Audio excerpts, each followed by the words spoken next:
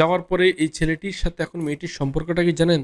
স্বামী স্ত্রীর তো আপনারা তো অবশ্যই জানেন। যেহেতু বিয়ে হয়েছে, তার সাথে মেয়েটির সম্পর্ক স্বামী স্ত্রীর হবে। ভুল ধারণা। স্বামী স্ত্রীর সম্পর্ক না, এখন তার সাথে শুধু বন্ধুত্বের সম্পর্ক এবং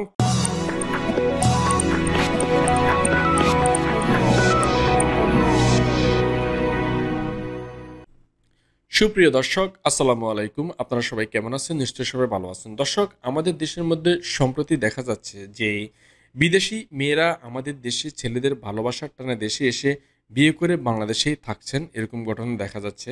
আবার দেখা যাচ্ছে যে বিদেশি ছেলেরা বাংলাদেশে এসে প্রেমের টানে মানে মেয়েদের সাথে বসবাস করতেছেন এবং তাদেরকে বিয়ে করতেছেন। সুপ্রিয় দর্শক, আমি এই ঘটনাগুলোকে আসলেই মানে সাধুবাদ জানাই। তবে এই ঘটনার পিছনে যদি মানে কিছু মর্মান্তিক ঘটনা লুকিয়ে থাকে, কিছু মনে করেন যে রহস্য লুকিয়ে থাকে এবং কিছু মানুষ প্রতারণার শিকার হয়, সেক্ষেত্রে কিন্তু অবশ্যই বিষয়টি আমি মনে করি যে আপনাদেরকে জানানো দরকার। সুপ্রিয় দর্শক আপনারা এই যে ছবিটি দেখতে পাচ্ছেন এই ছেলেটি নাম হচ্ছে মনিরুল। তো সে জুলিয়াস নামের একটি মেয়েকে বিয়ে করেছেন বাংলাদেশে এনে এই মেয়েটি মালয়েশিয়ান প্রবাসী।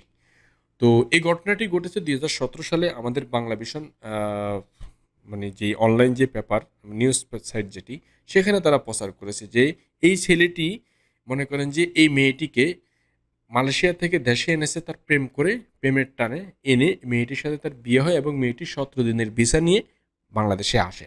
আসার পরে সতেরো দিনের ভিতরে ছেলেটিকে বিয়ে করে, ছেলেটি মোটামুটি দাঁড় দানা করে আশি নব্বই হাজার টাকার মতো খরচ করে সেই মেয়েটিকে ধুমধাম করে বিয়ে করে। এখন বিয়ে করার পরবর্তী পর্যায়ে মেয়েটি যখন তার বিচার সতেরো দিনের যখন সে টাইম নিয়ে এখানে এসেছিল, সতেরো দিন পরে মেয়েটি চলে যায়। তো এই ছেলেটির পরিবার ভাবছিল যে মেয়েটিকে হয়তোবা ভালোবেসে বিয়ে করেছে হয়তোবা মেয়েটির কারণে ছেলেটির অর্থনৈতিকভাবে ভালো একটি সচ্ছল জায়গায় যেতে পারবে। তো এখন এই মেয়েটি চলে যাওয়ার পরে, তো যাওয়ার পরে এই ছেলেটির সাথে এখন মেয়েটির সম্পর্কটা কি জানেন? স্বামী স্ত্রীর তো আপনারা তো অবশ্যই জানেন, যেহেতু বিয়ে হয়েছে, তার সাথে মেয়েটির সম্পর্ক স্বামী স্ত্রীর হবে। ভুল ধারণা। স্বামী স্ত্রীর সম্পর্ক না এখন তার সাথে শুধু বন্ধুত্বের সম্পর্ক। এবং তার পরবর্তীতে খোঁজ নিয়ে জানা গেছে, এই ছেলেটি বর্তমানে রাজমিস্ত্রির কাজ করতেছে ছেলেটি দুই হাজার সতেরো সালে এই ঘটনাটি। তো যেটা বলতেছিলাম, ওই মেয়েটির মানে আগের স্বামী আছে, পরিবার আছে, সে তাকে রেখেই এই ছেলেটির সাথে এখানে এসেছিল। কিন্তু এই ছেলেটির ইমোশন নিয়ে খেলা করেছিল। এই ছেলেটির পরিবার মানুষের, মানুষগুলোর সাথে সেই এই মেয়েটি প্রতারণা করেছিল। তো আজকের ভিডিওতে আপনাদের জন্য মেসেজ হচ্ছে, আমাদের দেশের সম্প্রতি সোশ্যাল মিডিয়া আমরা দেখতে পাচ্ছি যে অনেক ছেলে বাংলাদেশি মেয়েদের টানে আমাদের দেশে এসে বসবাস করতেছে, প্রেম ভালোবাসা করতেছে, তারপরে ওই মেয়েকে সেই দেশে নিয়ে যাচ্ছে। এটা সেম ওয়েতে আপনার অনেক ছেলে, অনেক মেয়েকে বাংলাদেশে নিয়ে আসতেছে এবং তার পরবর্তীতে ছেলে ওই ওই দেশে গিয়ে সেটেল হচ্ছে।